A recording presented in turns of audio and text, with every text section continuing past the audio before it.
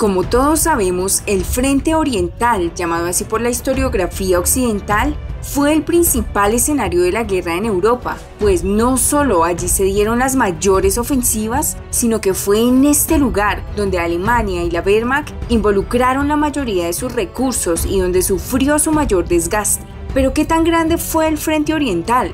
En este video trataremos de responder esta pregunta de forma global. Para empezar con una vaga idea, el Frente Oriental de forma ininterrumpida duró 1418 días, desde el 22 de junio de 1941 hasta el 9 de mayo de 1945 se libró en un espacio geográfico que en cuya máxima extensión fue desde el Círculo Polar Ártico hasta el Cáucaso, desde el Mar de Barents hasta el Mar Negro, a lo largo de entre 1.600 y 3.200 kilómetros, una escala mayor que cualquiera de los frentes en los que intervinieron los aliados occidentales, espacios igualables en algunos aspectos tan solo a la Segunda Guerra Sino-Japonesa en Asia.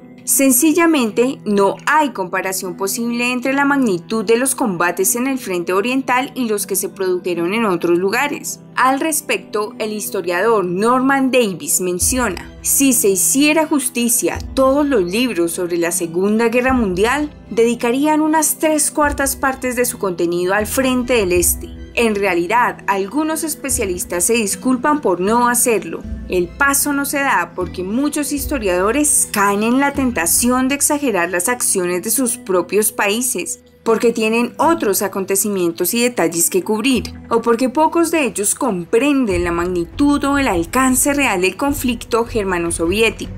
En fuerzas humanas, allí en el este de Europa, se dio una guerra que nunca se había visto, cuyos estados enfrentados gracias a su gran población, Alemania contando con 80 millones y la URSS con 190 millones, llevaron a una guerra de grandes proporciones y a una sangría casi sin igual en la historia. Para tener una idea, según Davis, el 22 de junio de 1941, el ejército alemán comienza la invasión de la URSS. Las estimaciones varían, pero en números redondos, al comienzo de Barbarroja, intervinieron un aproximado de 410 divisiones en ambos lados del frente, lo cual hace un total de 226 millones de hombres meses.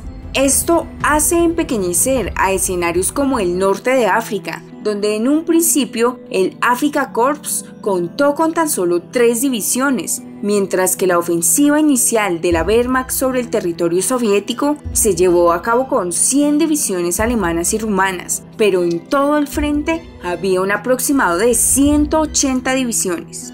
En comparación, por ambos lados en la campaña occidental de 1940 intervinieron 285 divisiones en mes y medio, en la campaña de Italia participaron 40 divisiones en 21 meses y en la occidental de 1944 y 1945, desde el día D hasta la capitulación de Lunebois, tomaron parte 120 divisiones durante casi 10 meses. Aunque el número puede parecer exagerado, sumadas las divisiones alemanas, las rumanas, las finlandesas y las soviéticas, según otras fuentes, parece bastante aproximado. Davis pretende en cualquier caso utilizar macrodatos para poner de manifiesto la relevancia del Frente Oriental.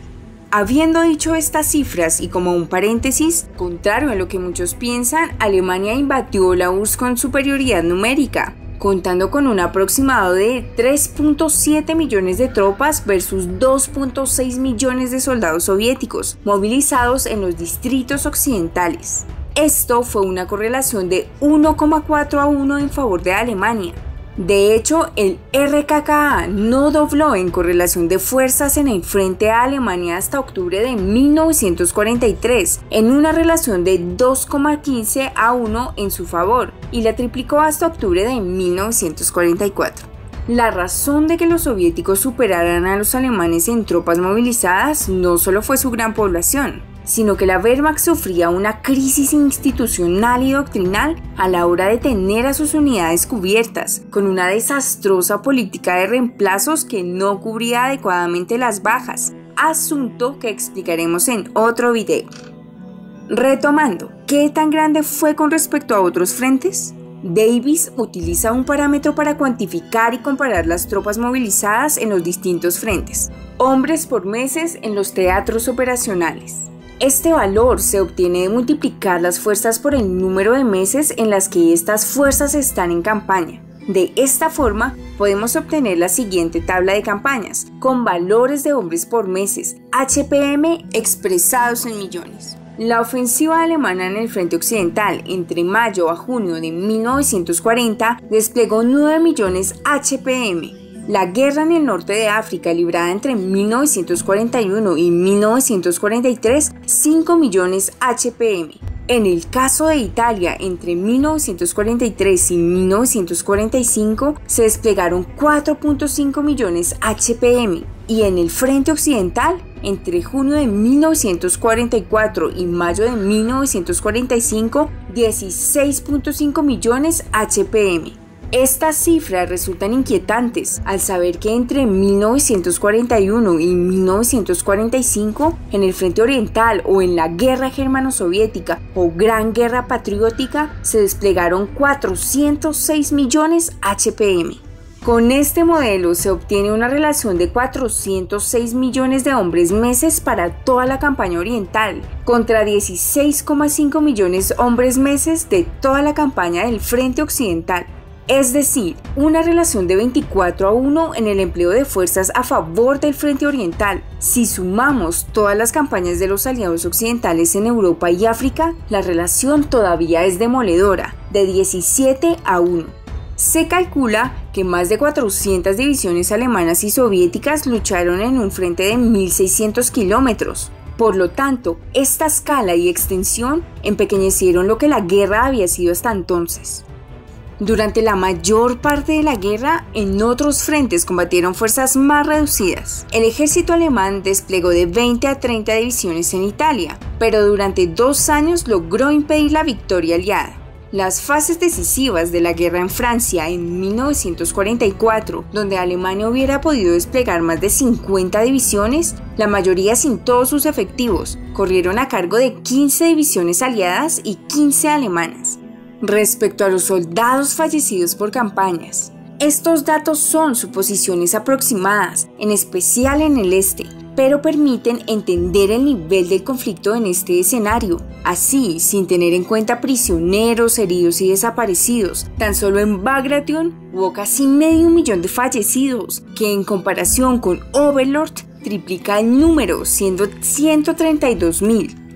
De hecho, Davis expresa que operaciones menores como la batalla de Budapest es de una magnitud similar a las de la invasión de Normandía y las Ardenas.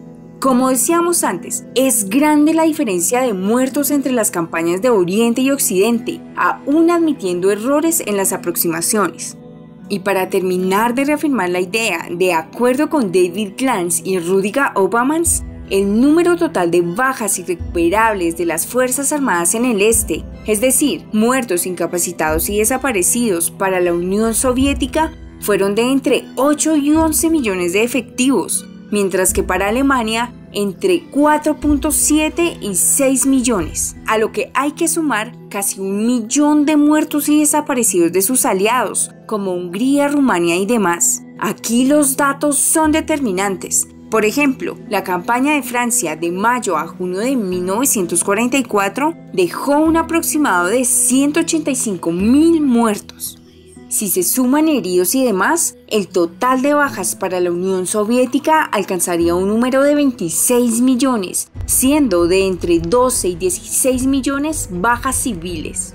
Para el caso alemán, su total ascendería tan solo en el Ostgea de entre 10 y 11 millones de bajas en sus filas, más 1.7 millones de sus aliados. Y para el caso de civiles alemanes, las cifras varían, de entre 2 y 5 millones.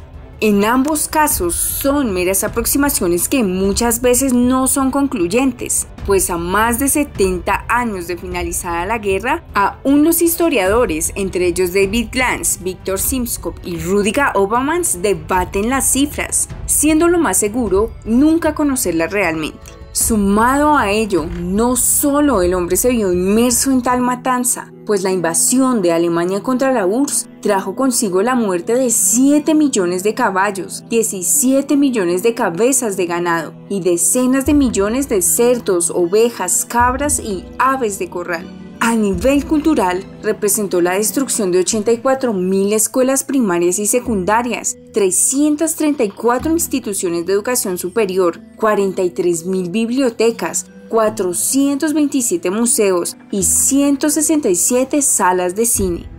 A ello se suma la destrucción de 1.710 ciudades, 70.000 aldeas, 32.000 empresas industriales, 98.000 granjas colectivas, 1.876 granjas estatales, 65.000 kilómetros de ferrocarriles, 16.000 locomotoras, 13.000 puentes ferroviarios y 428.000 vagones.